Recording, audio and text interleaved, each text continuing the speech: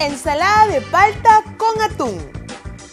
Para días calurosos, Florida te recomienda probar esta nutritiva receta y así acompañar tus comidas de manera sana y deliciosa.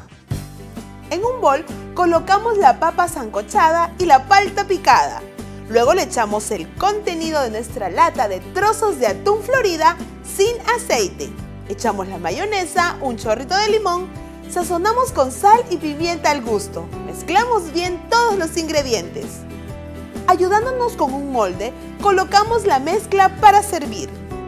Podemos acompañar este plato con pan, tomate y los huevos de codorniz.